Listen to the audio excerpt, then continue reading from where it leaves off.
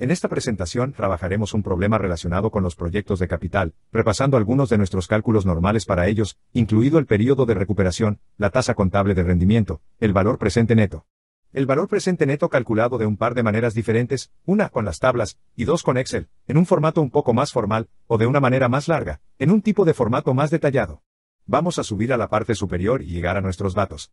Los datos encabezan las oportunidades de los proyectos.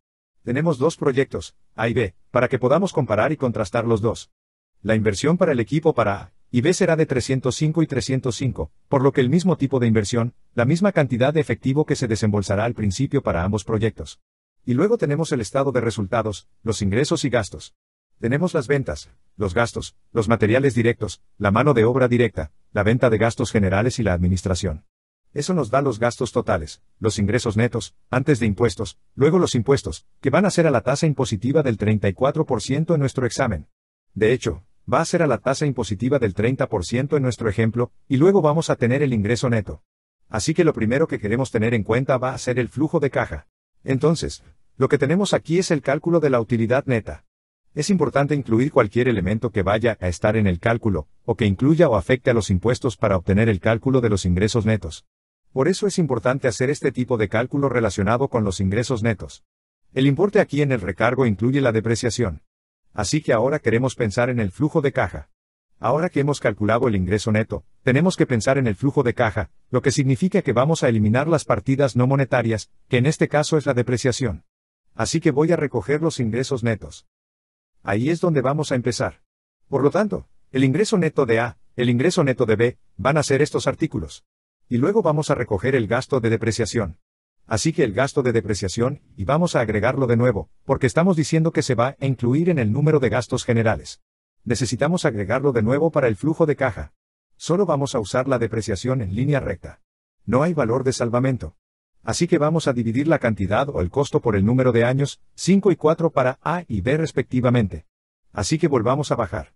Vamos a decir que en B, 22 voy a decir que es igual a Vamos a volver a subir, y vamos a recoger el costo de inversión, 305.000 dividido por los años, o la vida útil 5 para este artículo, para A y luego B nosotros haremos lo mismo. Podría llenarlo automáticamente, pero recogeremos el número para que podamos ver los 305.000 divididos por 4, 4 años. Y ahí tenemos la depreciación. Por lo tanto, vamos a obtener el flujo de caja neto esperado. El flujo de caja neto esperado va a ser la suma de esos dos, sumando la utilidad neta más la depreciación, porque redujo la utilidad neta, y tenemos que volver a agregarla, porque no es una partida de flujo de caja, aunque es una partida de gastos. Estoy copiando esto. Así que los estamos sumando. Esto es lo que creemos que será nuestro flujo de caja, el flujo de caja esperado. Ahora entremos en nuestro periodo de recuperación. Estos van a ser nuestros cálculos más rápidos los revisaremos con bastante rapidez, ya que se harían de una manera rápida. Así que vamos a decir que el costo de la inversión va a ser igual a que vamos a desplazarnos hacia arriba el 305 y el 305 voy a decir, entrar. Voy a llenarlo automáticamente y se detendrá. El otro 305 lo voy a autocompletar porque recogió la celda relativa. Así que pasé de C, derecha, B a C de hacer eso. Está bien, entonces, pero las cantidades van a ser las mismas, porque fue lo mismo para las dos inversiones. Y luego queremos los flujos de caja anuales, los flujos de caja anuales, que acabamos de calcular arriba, justo arriba, aquí mismo. Va a ser 124.700 e igual a 117.550, y eso nos va a dar nuestro periodo de recuperación, periodo de recuperación, que será igual al 305 el costo dividido por los flujos de efectivo, y eso nos dará el 2.45 nota el formato de las celdas. Agregamos decimales aquí. Si está formateando su propia hoja de cálculo, tendría que agregar decimales para asegurarse de que está recogiendo los decimales. Tenemos el 305 dividido por los 170.550 en otras palabras, vamos a tardar 2,45 años en recuperar nuestra inversión original. Para 305 va a tomar 2.59, por lo tanto, aparecería mejor en relación con un periodo de recuperación. Tipo de cálculo. Pensemos en una tasa de rendimiento contable para comparar estos dos. Tasa contable de rendimiento, tipo de cálculo. Así que vamos a tener el ingreso neto fiscal anual va a ser nuestro punto de partida. Esto va a ser igual a la tabulación 63.700, igual a la tabulación 41.300 a la que va a ser. nuestro punto de partida, luego vamos a calcular la inversión promedio anual, y voy a desglosar eso y cómo hacerlo. Así que empezaremos con el coste de los activos. Para calcular el promedio, el costo va a ser igual a, si nos desplazamos hacia arriba, a esos 305 que recordarás para ambos, así que 305 para ambos y el promedio, de nuevo, un poco gracioso. Básicamente, vamos a tomar ese 305 y dividirlo por 2. La razón por la que es un poco gracioso para un tipo de cálculo promedio es porque estamos tratando de encontrar un promedio para un elemento de tipo balance. Así que tomamos el principio y el final del tipo de cálculo del periodo para encontrar ese promedio. Por lo tanto, el comienzo del periodo de tiempo es el costo, el 305.000, y el final es el cero, el valor de salvamento. Así que podrías decir más propiamente que debería ser el 305.000 más el cero, y luego dividirlo por 2, y eso nos dará nuestro promedio a lo largo del periodo de tiempo. Entonces vamos a dividir esto por 2, y eso nos va a dar la inversión promedio anual. Así que ese va a ser este artículo. Esto será igual a 305.000 dividido por 2. Voy a copiar eso a través de autocompletar. Eso nos dará el mismo cálculo para los dos proyectos. Y luego podemos calcular nuestra tasa de rendimiento contable, que será igual al ingreso neto anual después de impuestos dividido por los 502.500, y haremos el mismo cálculo aquí, los 41.3 divididos por los 152.500, por lo que la tasa de rendimiento contable parece que tenemos una mejor tasa de rendimiento para un ser con respecto a la tasa de rendimiento contable. Ahora vayamos al tipo de cálculo del valor actual neto. Vamos a usar una tasa de descuento del 7%, y primero vamos a comenzar con nuestra tabla. Así que vamos a usar nuestras tablas comúnmente usadas en preguntas de libro o preguntas de examen, más común usar algo como Excel en un cálculo cuando realmente estás en la práctica trabajando en estos problemas, obviamente, y hay diferentes formatos para hacerlo dentro de Excel. Así que veamos esto de un par de maneras diferentes. Vamos a decir que va a haber una entrada anual de efectivo. La entrada de efectivo anual va a ser igual a, si nos desplazamos hacia arriba por encima de 124.700, y eso va a ser igual a nuestro flujo de caja para B1, 117, 550 y vamos a tomar el valor presente de una anualidad de la tabla. Así que vamos a tomar el valor presente de una anualidad. Así que tenemos el 7%, y luego tenemos el 5 y el 4. No queremos el valor presente de 1. Queremos el valor presente de la anualidad. Así que esto es una renta vitalicia. Va a suceder cada año durante 4 y 5 años. Por lo tanto, vamos a tomar el 7%, que será un poco, y 4 y 5, por lo que va a ser el 4.1020 y el 3.99274, así que repasemos y pongamos estos elementos aquí. Vamos a decir. Muy bien. Ese va a ser el 4.102, y el 3.3872 obviamente, agregamos decimales para que podamos ver esos decimales dentro de Excel. Entonces, podríamos multiplicarlos para obtener el valor presente del flujo de caja anual, que va a ser igual al 24.7, por el 4102, que será igual a los 117.550 por el 3,3872 que es para la anualidad. Luego tuvimos la salida, la salida de efectivo, que voy a incluir solo el precio de compra original. Así que voy a ponerlo como un negativo aquí, y diremos que fue 305 negativo. 305 que es el flujo de salida y 305 no necesitamos presentar valor eso, porque eso sucedió básicamente en el tiempo cero. Eso sucedió ahora. Por lo tanto, no necesitamos presentar el valor de salida, y eso nos dará el valor presente de los flujos de efectivo. Así que vamos a decir que el valor presente de los flujos de efectivo es igual a la suma de estos dos elementos, por lo que las entradas y las salidas copian eso, y ese va a ser nuestro valor presente de los flujos de efectivo.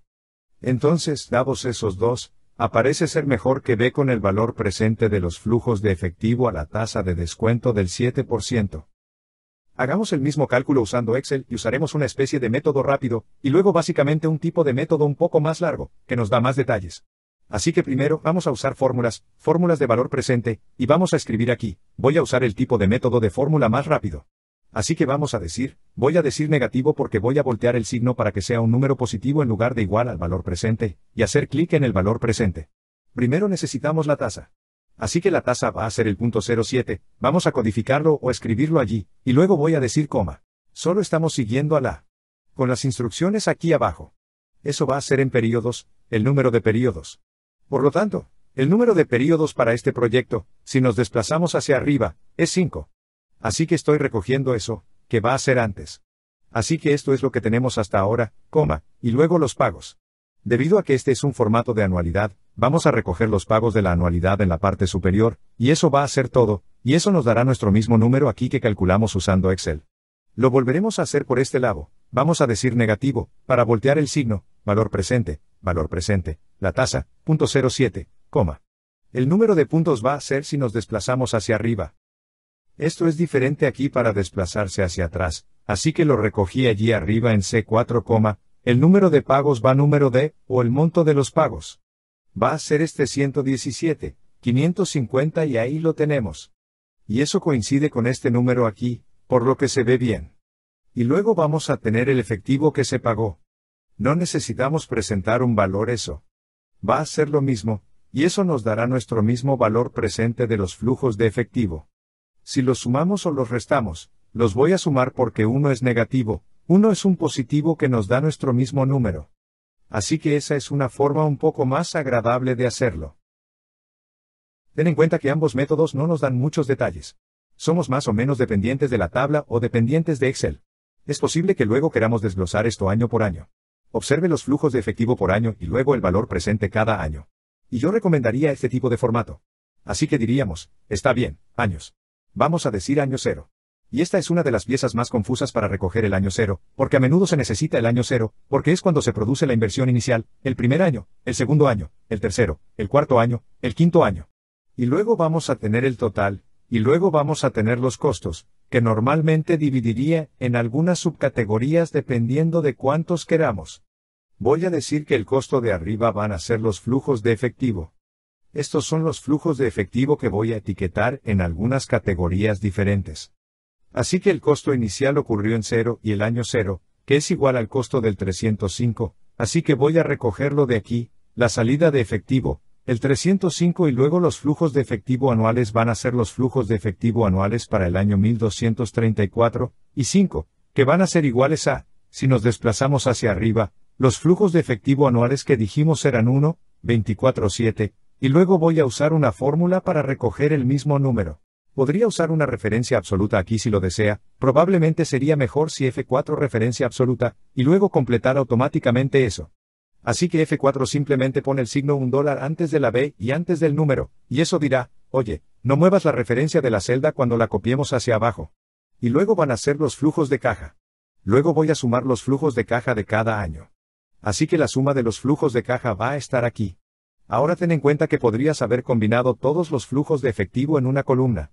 No necesitas tres columnas si no quieres el detalle, pero personalmente me gusta tener un poco más de detalle. Y luego voy a copiar eso, autocompletarlo y listo. Ahí lo tenemos ahora. Podemos presentar valor cada año.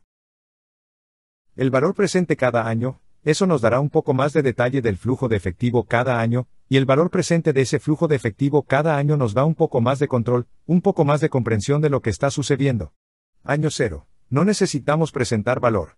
Es el mismo número porque es el año cero.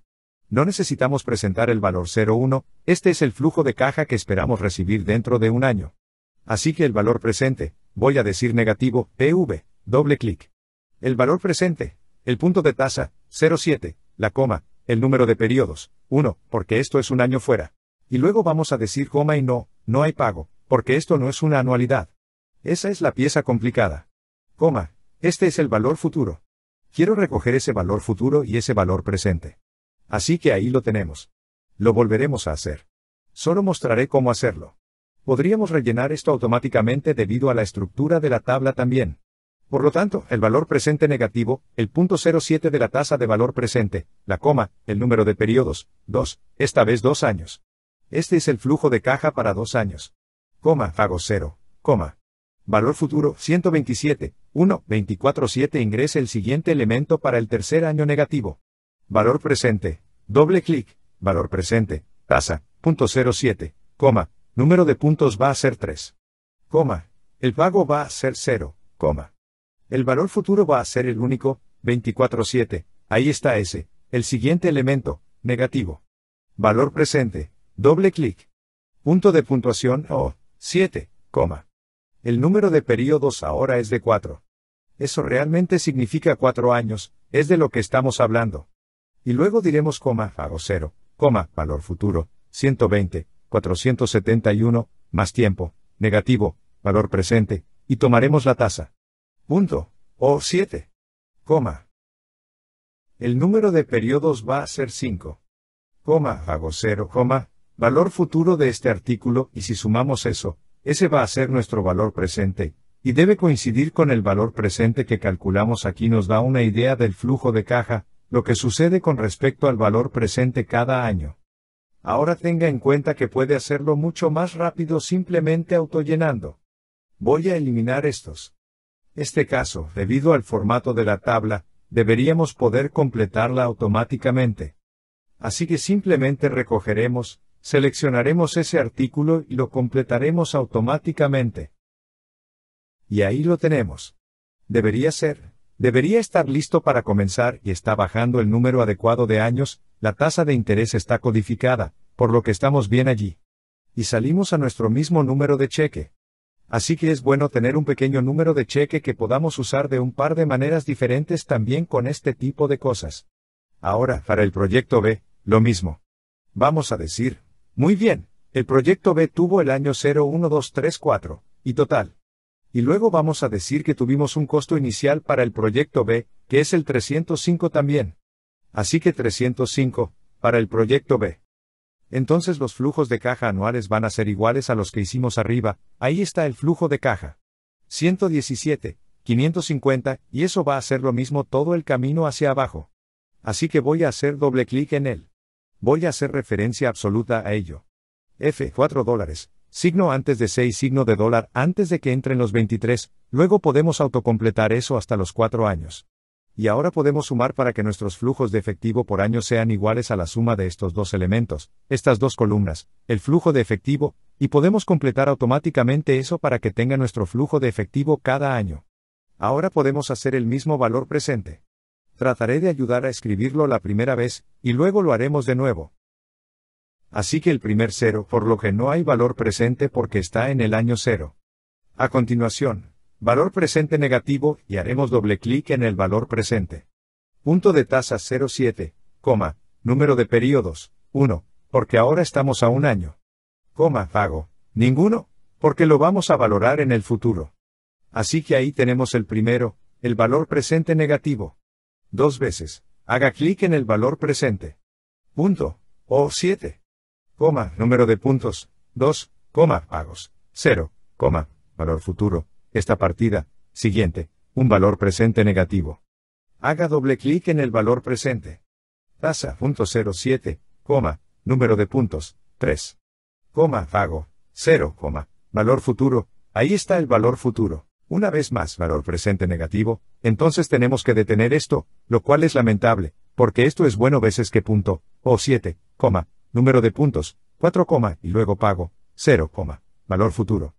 Entonces, si sumamos estos, deberíamos llegar al mismo valor presente que 93, 167, 167 que coincide con nuestro 93.167 de aquí.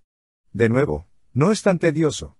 Si utiliza la función de autocompletar, si tiene la tabla configurada de esta manera, elimine estos elementos.